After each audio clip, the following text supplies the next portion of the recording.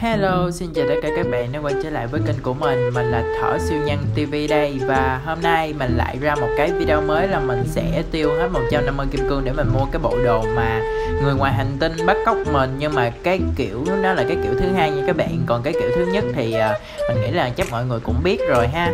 Rồi bây giờ là mình sẽ bắt đầu mua nha các bạn thì bây giờ là mình sẽ bắt đầu mua nè các bạn. Bây giờ mình có đủ luôn 150 kim cương luôn nè. Mua xong là mình bây giờ mình trở thành uh, kiểu như là từ giàu có mà bây giờ trở thành uh, kẻ ăn xin luôn á. Rồi thì đầu tiên là mình sẽ bấm vào cái cửa hàng sau đó là mình sẽ kéo qua sẽ có các gói như là gà tây thân thiện này các bạn.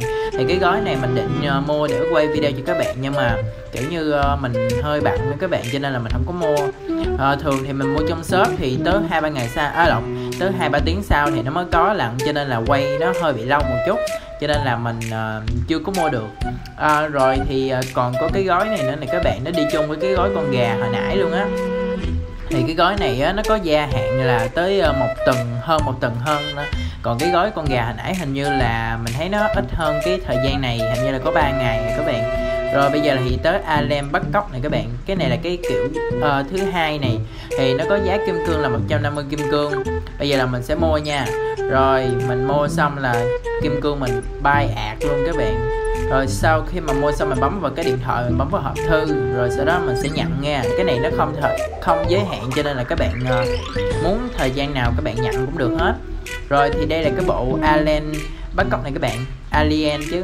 Nãy giờ mình đọc lộn rồi bây giờ mình mua xong rồi thì bây giờ là mình sẽ bấm vào cái điện thoại và bấm vào trang trí để mình mặc cho các bạn coi nha các bạn.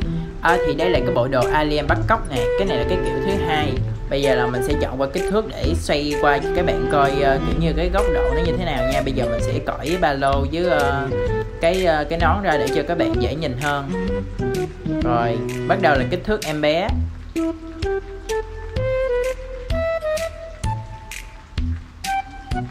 Tiếp theo là kích thước bình thường.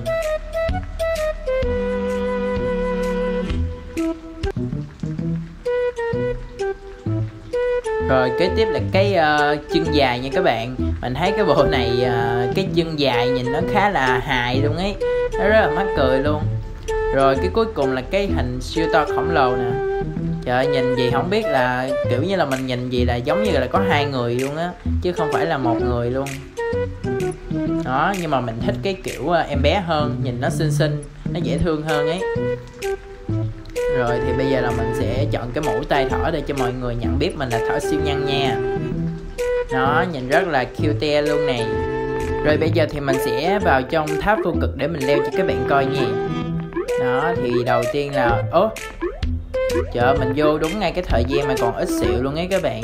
Không biết là mình có leo lên kịp không nữa. Nó chỉ hình như là hồi nãy nó mới có 2 phút hay giờ. Chắc mình nghĩ là mình có thể vượt qua được. Ôi, tự nhiên cái bị bá. Nó, mình sẽ nhảy cái đường đó để cho nó đi nhanh hơn á. Rồi sau đó mình sẽ nhảy cái đường tắt lên đây. Để mình rút ngắn cái thời gian nó lại thì chơi trong cái tháp vô cực này nè các bạn. Thì uh, mình té xuống thì mình không có chế nhưng mà kiểu như là mình nhảy được á gọi cái tự nhiên nó bị lắc nó bị giật giật á. À, không biết là các bạn có bị giống mình không? Mỗi lần mà mình chơi là kiểu như mình quay phim cho các bạn coi gì nè thì hiện chút nó nó bị giật. Tự nhiên mình đang nhảy cái nó bị giật đứng lại rồi cái mình gớt xuống luôn. Kiểu như khúc đó là cay thật sự luôn ấy. Rồi thì bây giờ mình sẽ nhảy qua bên đây. Tới khúc này thì có cái đường tắt ở trên đây mình nhảy lên nhảy lên từ từ thì nha nhảy mà kiểu như các bạn cho nó cái con nhân vật của mình đi quá lố thì uh, say goodbye luôn. Rồi khúc này các bạn có thể đi liên tiếp cũng được. Nó thì tới trên đây nè thì mình nhảy qua liên tiếp luôn. Ôi trời xém ghé. Đó các bạn có thấy nó bị lắc không? Cái này mà là lắc mà gớt xuống chắc mình khóc luôn quá. Nó thì mình nhảy từ từ thôi đó thì cuối cùng trong vòng 2 phút thì mình leo đâu cỡ ờ, một tiếng à lộn tự tự nhiên mình nói một tiếng mấy. À, là mình leo cỡ khoảng một uh, phút rưỡi nha các bạn. Rồi thì bây giờ là mình sẽ test thử cái nhân phẩm của mình nha các bạn. Hổm giờ mình quay thì mình quay được cái bộ đồ thôi chứ mình chưa có quay được cái mỏ hay là cái nón của nó nữa. Bây giờ mình sẽ cố gắng để mình quay uh, ra được nguyên một cái set đồ. Không biết là cái nhân phẩm của mình có được nguyên bộ đồ không nữa chứ mình thấy hổm giờ nó bị thúi rùm rồi đó các bạn. Trời sao mà toàn ra cái thức ăn không mà vậy? Rồi hết hộp luôn rồi. Thôi mai mốt mình sẽ đi tu nhân phẩm của mình các bạn ơi. Thì bây giờ là mình sẽ cho cái con nhân vật của mình uh, xài tất cả các phương tiện di chuyển để các bạn có thể coi uh, kiểu như là cái hình nó nếu mà các bạn mua không được thì uh, kiểu như các bạn chưa đủ kim cương thì các bạn có thể coi cho đỡ ghiền thôi nha đó thì bây giờ là mình sẽ cho nó đi xe đẩy. Ui cái này nó khá là dễ thương luôn nè. Nó rất là cute luôn ấy. Trời cái này mà chở bạn đi là đúng dễ thương á trời. Trời ơi. Rồi bây giờ là mình sẽ chuyển qua cái di uh, cái phương tiện di chuyển tiếp theo nha. Bây giờ mình sẽ cho nó đi cái uh, xe đạp. Trời ơi đi xe đạp. Cái mấy cái game cái game này, này các bạn nó rất là ảo luôn. Đi xe đạp mà các bạn không cần đạp mà các bạn cũng không cần cầm tay lái luôn, các bạn chỉ cần kiểu như là múa quạt gì đó thì các bạn vẫn chạy được bình thường nha. Rồi thì tiếp theo là mình sẽ chọn cái con xe này nha, để mình chạy cho các bạn coi. Thì nó đè lên cái con ờ, cái con người ngoài hành tinh luôn. Làm gì mà con người ngoài hành tinh mà bắt cóc được được mình chứ?